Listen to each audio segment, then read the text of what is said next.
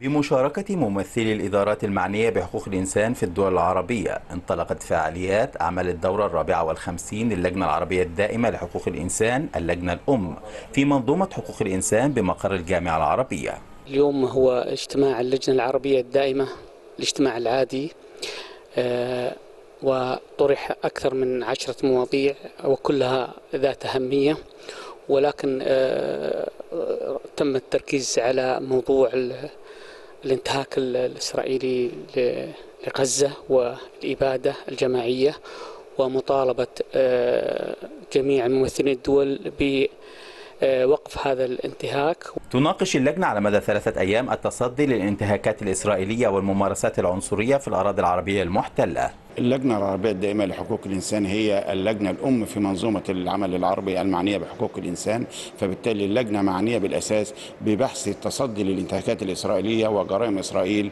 لحقوق الإنسان في الأراضي المحتلة ليس فقط في غزة ولكن في الضفة الغربية وكذلك في القدس الشرقية المحتلة إلى جانب موضوع جثامين الأسرى والمفقودين والمعتقلين الفلسطينيين والعرب في سجون الاحتلال أو ما يعرف بمقابر الأرقام. بالتالي هناك عمل على مدار الساعة تقوم به هذه اللجنة لتوثيق جرائم الحرب الإسرائيلية والعمل على تقديم ملفات وعرضها على الجهات المعنية في الجماعة العربية خاصة وزراء الخارجية العرب للاستفادة به في تحركهم على الساحة الدولية. سيتم مناقشة الخطة التنفيذية للاستراتيجية العربية لحقوق الإنسان ومقترح مملكة البحرين حول تنفيذ ما ورد في مخرجات القمة العربية الأخيرة في البحرين حول ضمان الحق في الصحة والتعليم خلال النزاعات المسلحة. يأتي هذا الاجتماع في إطار تفعيل آليات العمل العربي المشترك للحفاظ على حقوق الشعب الفلسطيني في ظل الانتهاكات الإسرائيلية المستمرة.